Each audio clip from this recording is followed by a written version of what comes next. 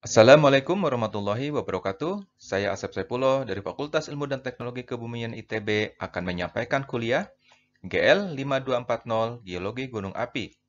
Topik 14, Project Set, segmen 1, Pengerjaan Project Set.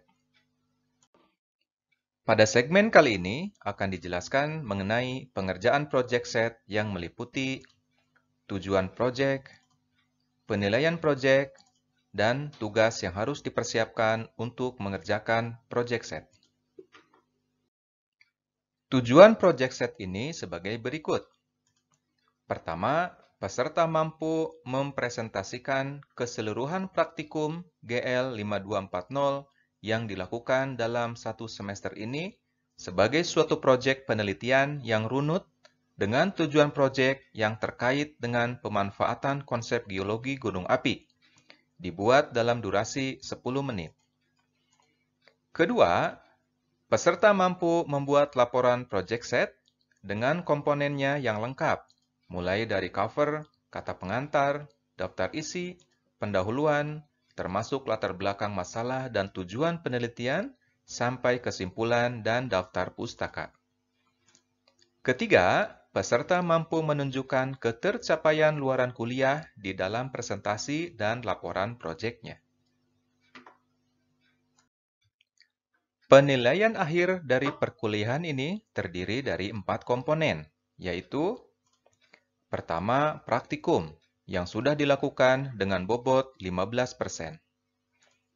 Kedua, project set berupa laporan tertulis yang sudah lengkap dengan bobot 25%. Ketiga, UTS tertulis sebesar 30%.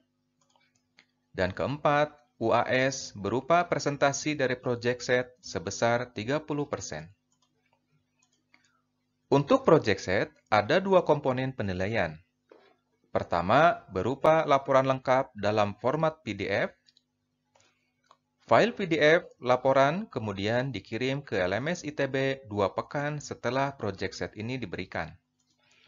File PDF yang dikirimkan diusahakan tidak dikompres agar kualitas gambar bisa tetap tinggi. Apabila ukuran file PDF melebihi 5 MB, silakan diupload di penyimpanan lain seperti G Drive, kemudian tautannya saja yang dikirim ke LMS ITB.